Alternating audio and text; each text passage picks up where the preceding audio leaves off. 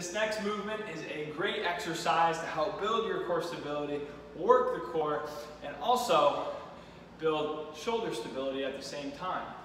So what we're gonna do is come down to the ground in a low plank position.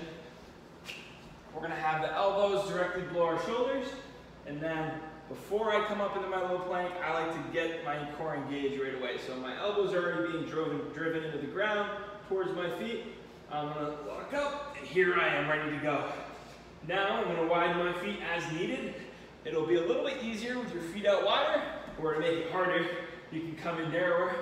And then simply gonna shoulder tap, side to side, and we want to prevent a lot of rocking and turning to the side here. We also want to make sure we don't hyperextend lower back just like that.